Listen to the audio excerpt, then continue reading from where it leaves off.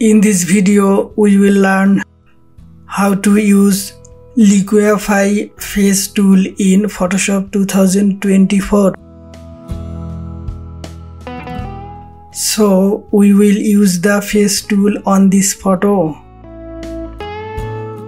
To do this, click on Filter. Click on Liquify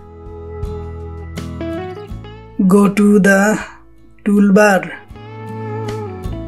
Click on the face tool.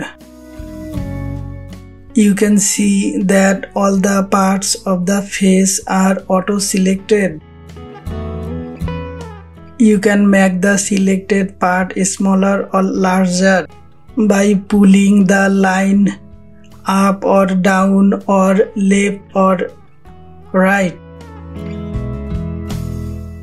if you want, you can change the expression of the face, smile expression and the sad expression. You can also change the expression of the eyes.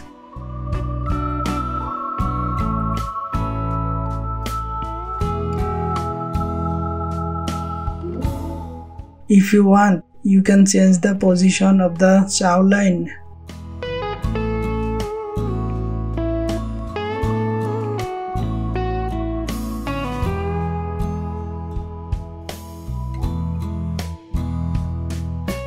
Okay done click on the ok button